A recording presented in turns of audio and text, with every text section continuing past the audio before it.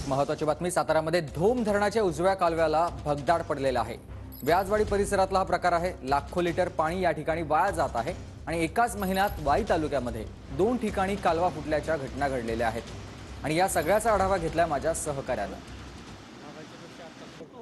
सातारा जिल्ह्यातल्या वाई तालुक्यामध्ये आज सकाळी सहा वाजण्याच्या सुमारास धोम उजवा कालवा फुटलेला आहे. आपण पाहू शकता की या कालव्याला आज सकाळच्या सुमारासच भगदाड पडलेलं एकूणच पाहायला मिळत आहे. खरं तर ही महिनाभरातली ही दुसरी घटना म्हणावं लागेल कारण पांडे ओझरडे परिसरातही अशाच प्रकारे मागील महिन्यामध्ये हा कालवा जो आहे तो फुटलेला होता आणि यानंतर मोठं नुकसान झालेलं होतं. लाखो लिटर पाणी जे आहे ते या ठिकाणी वाया गेलेलं पाहायला मिळत आहे. एकूणच याबाबत पाटबंधारे विभागाला या स्थानिक नागरिकांनी देखील वारंवार सूचना दिल्या होत्या आणि या ठिकाणी या कालव्याची दुरुस्ती करावी अशी मागणी देखील केली होती. मात्र या ठिकाणी दुरुस्ती झालेली आपल्याला एकूणच पाहायला मिळत नाही. खरं तर याबाबत खरं सांगायचं झालं तर सध्या सातारा जिल्ह्यात दुष्काळाचं सावट आहे.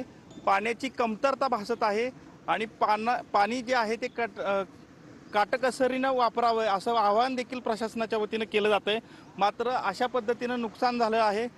Cameraman Tushar जाधवसह Santosh Nalode T V nine Marathi Satara.